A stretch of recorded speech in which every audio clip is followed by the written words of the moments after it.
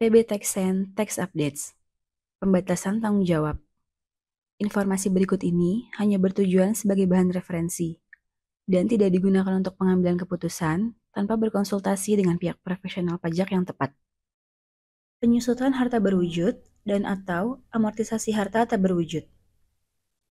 Pemerintah telah menerbitkan Peraturan Menteri Keuangan Nomor 72 Tahun 2023 yang merubah Peraturan Menteri Keuangan Nomor 96 Tahun 2009 PMK 72 berlaku sejak tanggal 17 Juli 2023, di mana peraturan ini mengatur tentang penyusutan harta berwujud dan atau amortisasi harta tak berwujud, dengan ketentuan sebagai berikut. Poin 1. Penyusutan harta berwujud.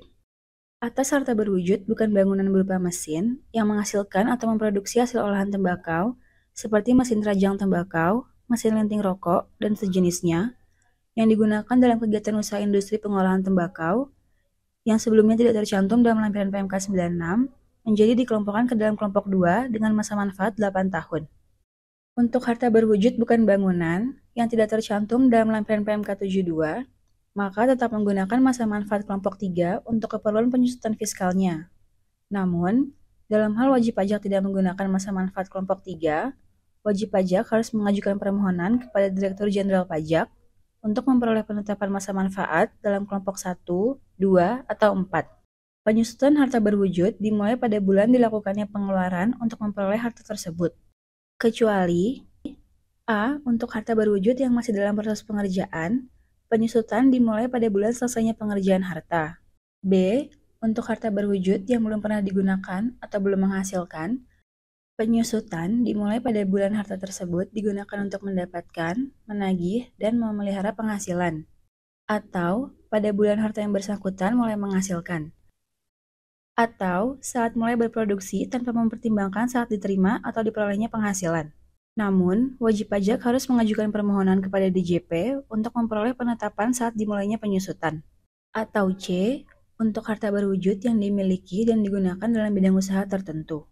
Selanjutnya, di dalam PMK 72 juga terdapat ketentuan penyusutan bangunan permanen yang mempunyai masa manfaat lebih dari 20 tahun, di mana wajib pajak dapat memilih penyusutan dengan masa manfaat 20 tahun atau sesuai dengan masa manfaat yang sebenarnya berdasarkan pembukuan wajib pajak, sepanjang keduanya dilakukan secara taat asas.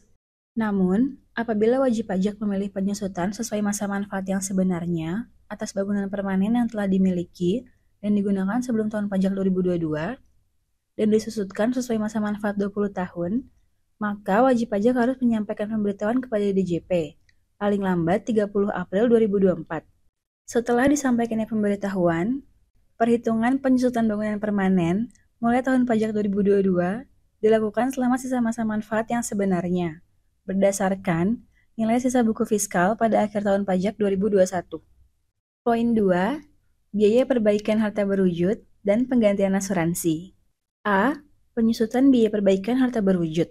Biaya perbaikan atas harta berwujud yang dimiliki dan digunakan untuk mendapatkan, menagih, dan memelihara penghasilan yang mempunyai masa manfaat lebih dari satu tahun dibebankan melalui penyusutan. Dengan cara menambahkan biaya perbaikan pada nilai sisa buku fiskal harta berwujud. B. Penggantian asuransi dalam hal terjadi pengalihan atau penarikan harta yang mendapat penggantian asuransi, maka nilai sisa buku fiskal harta dibebankan sebagai kerugian. Dan harga jual atau penggantian asuransi diakui sebagai penghasilan pada tahun terjadinya penarikan harta. Namun, apabila jumlah penggantian asuransi yang akan diterima baru dapat diketahui dengan pasti di masa kemudian, maka Jumlah nilai sisa buku fiskal harta dibebankan pada tahun pajak diterimanya hasil penggantian asuransi dengan mengajukan permohonan kepada DJP. Poin 3. Amortisasi harta tak berwujud. Amortisasi harta tak berwujud dan pengeluaran lainnya, termasuk biaya perpanjangan hak guna bangunan, hak guna usaha, hak pakai, dan muhibah, yang mempunyai masa manfaat lebih dari satu tahun, yang dipergunakan untuk mendapatkan, menagih, dan memelihara penghasilan, dihitung selama masa manfaat dan berdasarkan tarif amortisasi sebagai berikut. A. Harta tak berwujud kelompok 1 memiliki masa manfaat 4 tahun dengan tarif amortisasi 25% untuk metode garis lurus atau 50% untuk metode saldo menurun.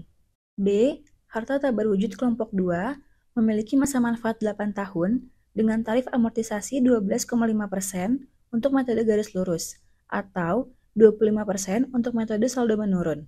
C. Harta tak berwujud kelompok 3 memiliki masa manfaat 16 tahun dengan tarif amortisasi 6,25% untuk metode garis lurus atau 12,5% untuk metode saldo menurun.